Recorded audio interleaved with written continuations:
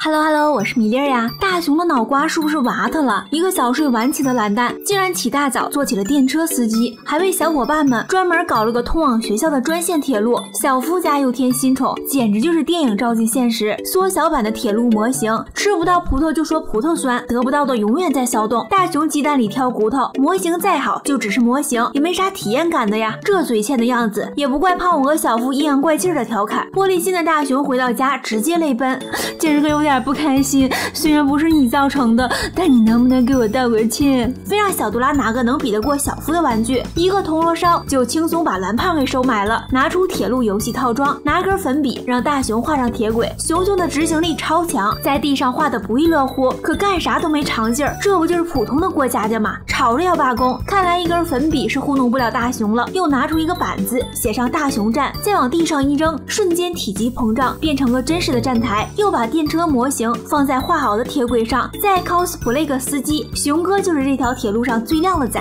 大熊有模有样的开启了列车，激动的心，颤抖的手，这可是大熊梦寐以求的场景。横穿菜市场，路口还有专用的红绿灯。哇塞哇塞哇哇塞！我和我的小伙伴们都惊呆了，给咱熊哥都整不好意思了。路过小夫家，还不忘嘀哩两声。小夫的仿真模型瞬间不香了，胖虎都秒变小迷弟儿。小夫失宠，铁路到结尾戛然而止。可大熊还没当够司机的瘾，干。干脆当把活雷锋，主要是为了亲爱的静香，在媳妇儿家设置站台，早上接她去学校，这么有趣的体验，香香自然愿意。胖虎作为铁路迷也追了过来，想要在自己的家安装通往学校的站台。大雄使出嘲讽技能，胖虎拿出十本漫画作为交换，真是花了大价钱了呀！其他小伙伴闻讯赶来，都想坐电车一起去上学，有的给玩具，有的还要以身相许。大雄脑瓜一热，干脆来个小镇环线，出门就是站台，这不礼物收了一板车。小杜拉拦都不拦，拿人钱财给人办事儿。铁路从白天画到了晚上，晚风踩着云朵，月亮售卖快乐。在天亮前完成了巨大的铁路建造，第一站就是媳妇儿家。虽然出现了一丢丢状况。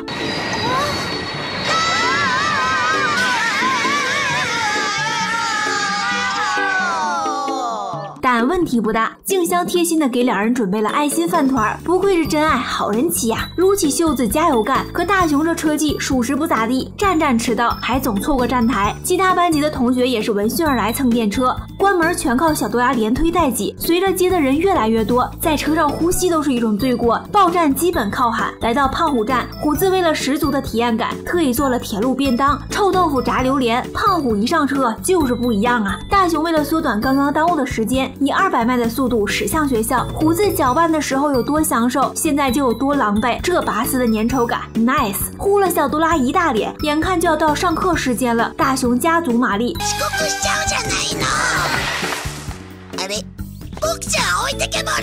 完美的错过了小夫家，一路火花大闪电，虽迟但到，还是学员迟到。这让大雄愧疚了一整天。为了弥补过错，这回也是进行了改良，列车也变成了两节车厢，男生和女生也是分开的，宽敞舒适，收到了一致好评。这时天空下起了雨，坐着大雄直达列车，吹着小风，甭提多舒服了。可高兴没多久，电车就停了下来，雨水冲掉了画好的铁轨。今天又是迟到的一天呢。